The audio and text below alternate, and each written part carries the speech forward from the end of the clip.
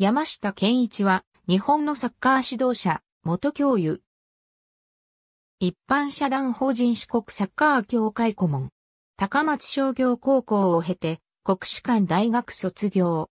卒業後、母校である高松商業高校に勤務するとともに、第一回四国サッカーリーグにも参加した高松商工 OB、サッカークラブにて選手としてプレー。現役時代のポジションは FW であった。高松商業高校では、サッカー部監督を歴任。第63回大会から11年連続出場を果たすなど、指導者としても尽力した。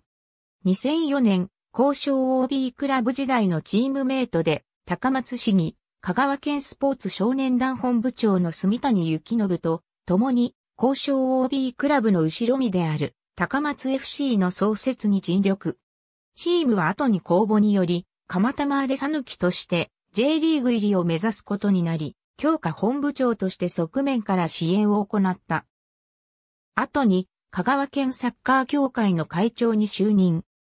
2013年には日本サッカー協会の都道府県フットボールセンター整備助成事業による助成を受け、高松市立東部運動公園多目的広場をナイター照明を備えた天然芝グラウンド及びクラブハウスを有する香川フットボールセンターとして整備、香川県のサッカー発展に尽力した。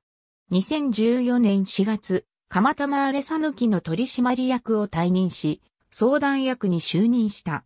2018年11月、蒲田マーレサヌキの取締役を任期途中に退任した。ありがとうございます。